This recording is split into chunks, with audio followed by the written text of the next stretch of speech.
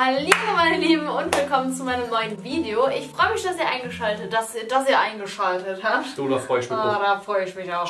Schreibt mal in die Kommentare, ob wir gerade gelber sind als sonst, weil ich finde, wir sehen gerade in der Kamera auf jeden Fall Möchtest du mir vorwerfen, wärmer aus. ich habe das Licht nicht gut eingestellt. durchaus. Wir sind gerade im Babyzimmer, weil hier schallt am wenigsten und hier haben Ist wir das, jetzt ist das unsere Baby Ruhe. auch im Babyzimmer? Nee, das liegt im Wohnzimmer und schläft und wir sehen es da per Live-Überwachung und Es schläft. schlummert. In meiner Schwangerschaft habe ich euch ja immer so auf dem Laufenden gehalten und so Schwangerschaftsupdates gedreht, wie es mir geht und so weiter, wie sich das Baby entwickelt hat im Bauch, bla bla bla. Und ich dachte mir, sowas könnte ich jetzt eigentlich auch nochmal machen. Jetzt ist das Baby da und wir können euch auch einfach mal jetzt nach drei Monaten ein Lebensupdate von uns, von dem Baby geben. Schreibt mir mal in die Kommentare, was ihr sagt. Findet ihr, also wir waren ja beide 25 und sind immer noch 25, ähm, als das Kind gekommen ist, findet ihr, dass wir sehr junge Eltern sind oder nicht? Ich kenne viele Leute, die eigentlich in dem Alter erst das Kind bekommen haben. Das stimmt. Wir hatten ja so Besichtigungen vom Kreis, dann das alles mal anzugucken und die waren so der Durchschnitt, ohne jemanden irgendwie zu beleidigen. Der war auf jeden Fall Mitte 30 Ja, das gefühlt. glaube ich auch. Ich muss jetzt erstmal hier meine Notizen. Ich habe mir so viel Darf ich deine Notizen vorlesen? Nein, auf keinen Warum? Fall. Das wär voll Notizen lustig. liest man nicht vor. Man orientiert Oh, jetzt sich wird so rot, jetzt schämt sie sich. Lass mich in Ruhe. Unser kleiner Schatz ist Anfang Oktober am 4.10. geboren. Da hat die Bianca geworfen. Knapp drei Monate. Summa summarum, lassen drei Monate alt Ja, sein. eine Aussage vorab. Früher hat man, glaube ich, gesagt, die Kinder sollen mit sechs Monaten ihr Geburtsgewicht verdoppeln, ne? Mhm. Mittlerweile sagt man vier. Und wann hat unser kleiner Mann das Geburtsgewicht äh, knapp nach seinem zweiten Lebensmonat, ich glaube zwei Monate, eine Woche oder so, hat er plötzlich Bams sein Gedicht, Gewicht sein Das ist auf Gewicht jeden Fall verdoppelt. sein Gedicht, genau. Das ist auf jeden Fall ein kleiner Fresser. Die ein oder andere Speckfalte wird immer größer, aber unsere Hebamme meinte, wenn man das Kind voll stillt, dann kann das nicht dick genug werden.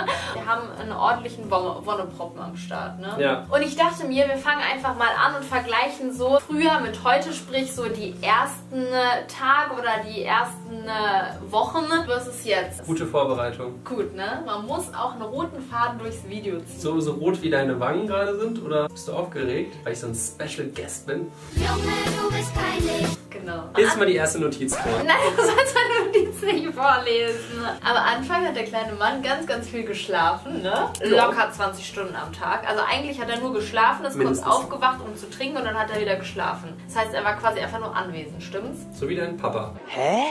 Spaß. Oh, es wackelt. Meinst du jetzt das Baby mit S oder die Wiege? Die Wiege wackelt, das Baby wacht auf. Baby? Nein. Baby, schlaf. Nein. Oh, ich liebe seine Stimme. Ja, ich bin weg. Sitzt sie auf Mamas Kopf? Wir haben eine Lösung gefunden und zwar liegt er jetzt in so einer Wippe vor uns und, Und lacht lacht. ganz viel. Jetzt freut er sich, ne? Jetzt freust du dich. Okay, wir versuchen das jetzt mal. Könnte natürlich jetzt ein paar Grummelgeräusche im Hintergrund geben. Ich hoffe, die stören jetzt nicht so sehr. Aber im Moment ist er ein bisschen anhänglich. Das ist voll komisch, so das Video zu drehen. Er beobachtet uns die ganze Zeit, dann lacht er immer ganz viel. Übrigens, okay, ich, wenn ich ihn jetzt beobachte, fällt mir voll viel ein. So, Es, es gibt so verschiedene Entwicklungsphasen, die die Babys durchmachen. Er ist jetzt gerade so in der dritten Entwicklungsphase, glaube ich, habe es eben nochmal gegoogelt. Dann lernen die halt in ganz kurzer Zeit ganz, ganz viel. Seit ein paar Tagen fängt er immer an, seine Hand so vor sich zu nehmen und beobachtet die einfach die ganze Zeit. Der lernt halt irgendwie gerade seine Körperteile kennen und der will auch gar keinen Schnulli mehr. Also am Anfang hat er ab und zu den Schnulli bekommen und mittlerweile steckt er sich einfach immer nur die Faust in den Mund und möchte keinen Schnuller mehr haben. Ne? Ich habe sogar das Gefühl, dass er manchmal so Geräusche nachmacht. Zum Beispiel, dass Ja. du ihm so gemacht hat, das irgendwie dreimal hintereinander nachgemacht. Ja. Aber die Griffe nach, nach Dingen, die werden auf jeden Fall, merkt man, dass die immer bewusster werden. Ja, auf jeden Fall. Ja, generell dadurch, dass der jetzt viel mehr wahrnimmt und viel besser sehen kann und viel länger wach ist, muss man ihn natürlich viel, viel mehr beschäftigen, wie jetzt zum Beispiel. Früher in den ersten Wochen hätten wir ihn halt einfach irgendwo hingelegt, dann hätte er geschlafen und jetzt hat er halt seine Wachphase, da kann man nichts machen. Der will einfach irgendwie immer mit dabei sein und wir haben jetzt auch schon halt ein paar Spielzeuge, die wir mit ihm benutzen können. Zum Beispiel hier so Rasseln, die hat uns die Maren zum Beispiel gestern geschenkt, ne? Danke nochmal an der Stelle. Kann, obwohl er seine Hand noch nicht so ganz da drum kriegt, aber Ja. so ein bisschen. Dann haben wir ihm jetzt äh, letzte Woche oder so so ein Mobile ans Bett gemacht, wo er manchmal nachmittags oder mittags drin liegt und was schläft. Und damit beschäftigt er sich auch mega gerne und versucht dann auch manchmal so danach zu greifen. Und, Und wir brauchen keine Hintergrundmusik mehr, die haben wir jetzt schon. das stimmt, die Faust ist richtig lecker, ne? Letztens hat er sogar versucht, beide Fäuste gleichzeitig im Mund zu stecken, aber es hat nicht so gut funktioniert. Und Juli hat herausgefunden, er liebt es, vorm Spiegel zu stehen und sich Stimmt. selbst anzugucken. Krass, ne? Also wirklich an alle Eltern da draußen, die irgendwann mal äh, vor einer verzweifelten Situation stehen, das Kind meckert die ganze Zeit. Wenn so ein Moment mal da ist, packe ich den, dann drehen wir uns zusammen zum Spiegel, gucken da rein und dann lacht er. Das Egal so wie mies der drauf ist. Ich- Voll selbstverliebt. Das ist echt so. Ich weiß nicht, Vielleicht lacht er auch mich im Spiegel dann. Ja, das kann auch sein. Okay, der lacht eh fast immer. Aber so krass, dass Leute schon zu uns kommen und sagen, wieso lacht euer Kind die ganze Zeit? Der ist wirklich Ja, durchgehend am Lachen, aber auch so... Der lacht auch mittlerweile richtig laut. Das ist übrigens auch eine Sache, die sich voll geändert hat, weil am Anfang hatte der halt so gar keine wirkliche Mimik und wir haben uns schon gefreut, wenn er mal die Augen ein bisschen länger Ja. auf hatte.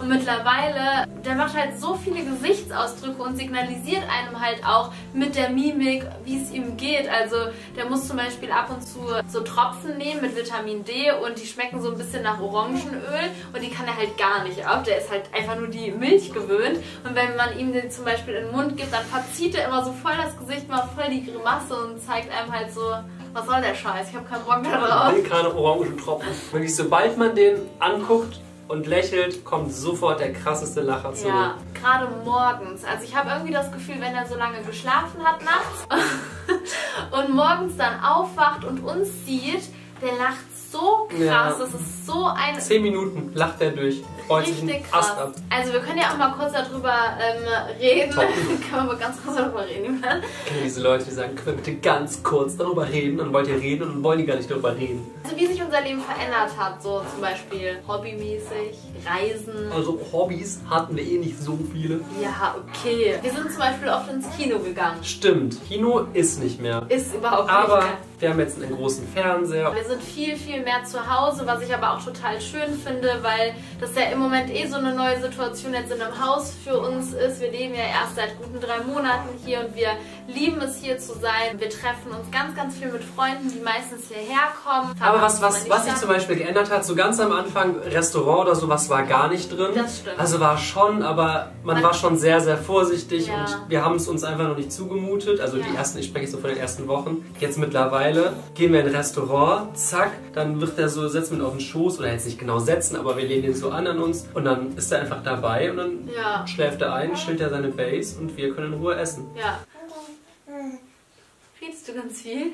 Der will mitreden. Total süß. Willst du auch was erzählen? Was sich auch geändert hat, am Anfang haben wir alles mit Kinderwagen gemacht. Das machen wir mittlerweile Mhm. eigentlich auch nicht mehr, weil es so umständlich geworden ist. Wir sind, Und glaube ich, einfach zu faul. Also wenn wir jetzt so einen riesen Spaziergang machen würden, dann vielleicht, aber ja, aber der ist halt auch viel lieber irgendwie bei einem. Und Ja, wir haben ja so diese Tage. Trip. Wir leben schon ein bisschen eingeschränkt, was das Leben vorher anging. Sprich, wir machen halt nicht mehr so viel oder manche Dinge können wir Ja, halt aber dafür einfach machen wir halt andere nicht Sachen, ne? Genau, das hat sich halt einfach geändert und wir fühlen uns mega wohl. Und würdest du irgendwie sagen, dass dir das mega fehlt oder Nein, vor allem, es ist ja jetzt nicht so, als könnten wir die nächsten äh, zehn Jahre nicht reisen. Im Gegenteil, wir hatten ja schon eine Reise nach Berlin, die war so entspannt. Hast die ganze Zeit nur geschlafen und gelacht. Manchmal ist er nicht so gut drauf wie jetzt und lacht nicht die ganze Zeit, sondern er hat auch mal anstrengende Phasen. Das muss man ja vielleicht auch mal Ja, aber die erwähnen. sind wirklich sehr, sehr, sehr gering. ich glaube, hat, gestern war die Hebamme da und die meinte, er könnte jetzt gerade so einen Entwicklungsschub haben. Und ich dachte eigentlich, er wäre schon gewesen. Ne? Aber ich glaube, er ist jetzt gerade seit gestern Nacht da. Weil gestern Nacht hat der kleine Kerl wirklich ein bisschen Terror Das war die unruhigste Nacht seines Lebens. Er wollte die ganze Zeit nur trinken und nur auf meinem Arm liegen. Und sobald ich ihn irgendwie wieder ins Bettchen oder neben mich legen wollte, hat er sofort angefangen Ja. zu motzen. Ich musste ihn wieder neu stillen. Das ist halt Also- echt gar nicht so. Der ist so mega ruhig. Ja. Haben auch teilweise aus der Familie Babys hier zu Besuch. Die, die, die ja, jammern dann mal ein bisschen mehr, quengeln dann und während er die ganze Zeit da nur liegt, schläft oder lacht. Ja, genau. Und wenn er halt diesen, diesen Entwicklungsschub oder so, wie man das nennt, hat, dann will er halt ganz viel Körpernähe haben und dann will er ganz viel auf dem Arm Das sind ein sein. paar Tage aber auch schon wieder und will viel öfter gestillt werden. Was ist denn der nächste, nächste Punkt in Und der deiner nächste Liste? Punkt ist, ob wir Angst davor haben, was in den nächsten Monaten alles auf uns zukommt. Angst? Ja, weil. Also ich muss, euch freue mal, mich. ich muss euch mal kurz eine Geschichte erzählen. Sein Cousin war ja da und sein Kind ist acht Monate jetzt alt, ne? Ja. Hallo! Fall krabbelt der schon, der greift natürlich alles, steckt sich alles in den Mund und ich habe das gar nicht gecheckt und konnte das irgendwie so gar nicht nachvollziehen, was der halt jetzt alles schon kann oder nicht. Und teilweise waren dann halt so kleine Gegenstände und ich dachte, ja, der guckt sich das jetzt an. und Hier, spielt spiel mal mit. damit, Kind. Und der stopft sich alles in den Mund und dann meinte ich dann Vorsicht, der kann das doch verschlucken. Also ich glaube, man muss echt auf so vieles achten. Man wächst natürlich auch da rein, aber es wird auf jeden Fall nochmal eine Nummer anstrengender und ganz anders, wenn der jetzt anfängt, so Dinge zu greifen. Ich freue mich riesig drüber, gerade weil ich gesehen habe, was das Kind von meinem Cousin schon alles kann. Also nicht, dass ich jetzt möchte, dass das schnell geht, aber ich freue mich halt auf alles, was noch folgt, was noch kommt. Ich muss sagen, ich finde es schon schön und angenehm, dass man jetzt ein bisschen mehr mit ihm machen kann. Also die ersten Wochen, was vielleicht aber auch gut war, um sich erstmal so einzuspielen, Ja. war ja echt so, er war halt da. Er war anwesend und hat halt geschlafen und ab und zu Milch gewollt. Aber jetzt kann man halt wirklich so mit ihm interagieren und das wird er jetzt wirklich teilweise von Was uns Woche da zu berechtigt Woche am Anfang, man hatte so Angst. Ja. Man, man, der, der konnte ja seinen Kopf gar nicht halten. Also er kann ihn jetzt auch noch nicht so ganz allein halten, er wackelt immer noch so ein bisschen. Würdest du sagen, er ist ein äh, Mutterkind oder ein Papakind? Du kannst ihn mega oft beruhigen und bei mir wird er immer direkt hektisch, weil er, glaube ich, die Milch dann riecht oder weiß, dass von mir die Milch Stimme mit Milch in Verbindung, dann Ja. bist du die Milchstimme. Und ich bin der Typ, Papa heiße ich übrigens, falls du dein erstes Wort irgendwie... Ich bin der Typ, der ihn zu der Milch bringt. Ja, und Ich bin praktisch der Milchmann. Und jedes Mal, wenn er ihm die gibt zum Stillen, sagt er, jetzt kommt was Positives. Das so. Damals noch äh, im Pädagogikunterricht aufgeschnappt, wenn irgendwie ein positiver Reiz ist, dass man dann äh, irgendwas damit verbinden kann. Ich weiß nicht mehr genau, was das war. Das mit dem Rumdrehen, das hat er noch nicht, das kann er noch nicht. Was halt auch richtig cool ist, vielleicht haben wir diese Rolle hier, warte, ich zeig die mal kurz. Einfach sieht aus wie so ein Nackenkissen. Ich bin jetzt mal kurz das Baby, ja. Er legt sich dann also drauf, stützt sich da mit seinem Ärmchen ab, man kann es nicht verstehen, ne? Hebt er halt automatisch seinen Kopf so hoch und Ja. sieht einfach aus, als würde er eine Liegestütze machen. Ja, und wir haben eben Sachen aussortiert schon wieder. Wir haben schon einen Junge, riesen. Karton mit Dingen, die ihm nicht mehr passen. Dieses Baby wächst einfach so unfassbar schnell. Alles in allem kann ich nur sagen, dass ich mega glücklich bin, dass wir Ein Kind haben. ein Kind haben. Ja, ich glaube, manche Leute finden das wirklich sehr früh. Wenn man die, die Möglichkeit dazu hat, was die wir Gott sei Dank haben und halt auch die Zeit, dann ist halt einfach äh, die, die wunderschönste Sache, die man überhaupt haben kann. Vielleicht noch, hat- wie hat sich denn unsere Beziehung verändert? Ach, das haben wir ist uns ja irgendwie wichtig, äh, mehr gestritten, ein bisschen in die Wolle bekommen? Nee, eigentlich gar nicht. Also ich würde sagen, so eine Beziehung festigt sich natürlich mega durch ein Kind. Wir waren eh immer schon voll das gute Team und ich würde sagen, Okay, aber wir sind halt auch wieder anders. Ne? Wir sind zehn Jahre zusammen. Ja. Ich würde wirklich sagen, zwischen uns hat sich nichts geändert. das stimmt. Ich freue mich, dass ihr eingeschaltet habt und ich hoffe, das Video hat euch gefallen. Und wenn ihr wollt, dass wir das irgendwie in zwei, drei, vier Monaten nochmal machen oder so und euch wieder so ein paar Dinge, die passiert sind oder Dann? sich verändert haben. Was steht da? Daumen hoch. Ah, das hätte ich mir jetzt auch denken können. Genau, dann gebt uns gerne einen Daumen nach oben. Und jetzt verlinke ich euch natürlich auch noch Julians Video. Danke. Ganz oben in der Infobox schaut da unbedingt vorbei. Es ist nämlich sehr, sehr lustig geworden. ihr, ihr kennt bestimmt diese, diese Glücksräder. Damit hattest du, glaube ich, schon mal ein Video Mhm. gemacht, ne? Und damit haben wir jetzt wieder ein Video gemacht. Und zwar haben wir versucht zu backen. Allerdings sind alle zwei Minuten während des Backens irgendeine Erschwernis dazu gekommen. Und das haben wir halt eben an diesem Glücksrad Das ist eine gedreht. lustige Nummer Nummer geworden. Ist mega lustig geworden. Gut, Julian ist nicht mehr dabei, dann drehe ich die Anker jetzt alleine. Vielen Dank fürs Einschalten, bis zum nächsten Mal und ich hab euch lieb. Tschüss.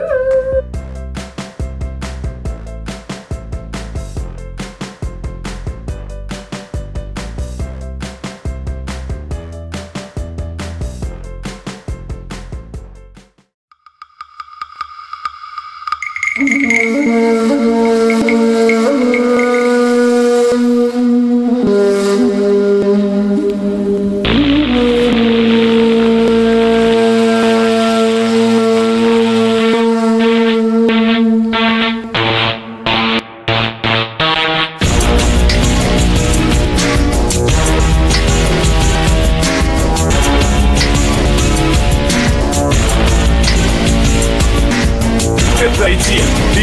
все еще дышишь, знать включи заново Чтоб звучало более обычно. Пока адреналин не выжмет из тебя Вышку пока децибелы не станут прожигать лампочки вспышками. Если лимиты превышены, то один эффект лови эффект и пихай Как наш диалект способен поломать твои извилины. Без стиля, без усилий Мы лишь вирус на любом носителе. И мы всего лишь 25 кадр твоего слуха Гипнотизируем, ведь разум подчиняется звукам И эта мания подобна настоящей магии Что взрывает от начала до конца твое сознание